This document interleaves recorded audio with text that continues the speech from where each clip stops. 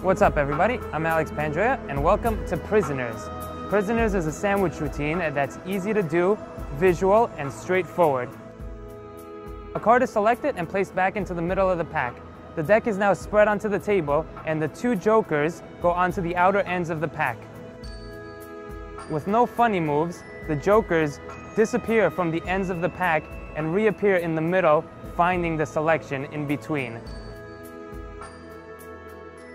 This effect is very easy to do. There is no skill required. If you could spread a deck of cards, you could do this effect. All right, here we go with prisoners. I got uh, two jokers that I'm gonna leave off to the side just for now, and I'm gonna have you take a card. So go ahead and show it to the camera. You got it? Yeah. All right. Goes back inside the center, about halfway, yes? And I'll leave it just like that. The two jokers are gonna help find the card in just a second. Watch.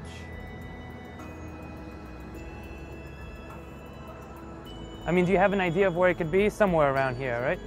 Watch the jokers. Try to find your card in between them. Look, if I put one here, and if I put one here, no, I'll try to make it one step further. Watch. Jokers. Carefully. And watch them try to find your card.